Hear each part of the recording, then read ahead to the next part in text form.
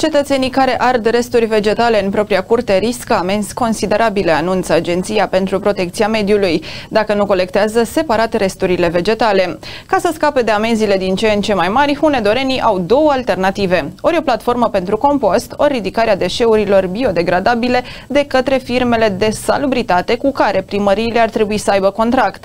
Din păcate, în județul nostru doar o primărie a încheiat un astfel de contract de ridicare a resturilor vegetale de la populație, în condițiile în care care termenul de aplicare a legii a expirat anul trecut.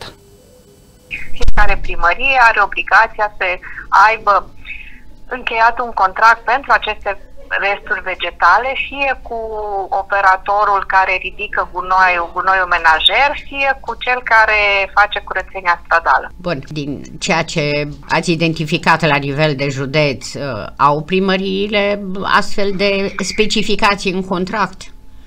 Ar fi trebuit să aibă până în 20 februarie anul trecut și, din păcate, uh, doar primăria Petroșani are explicit uh, acest serviciu contractat, celelalte se străduiesc.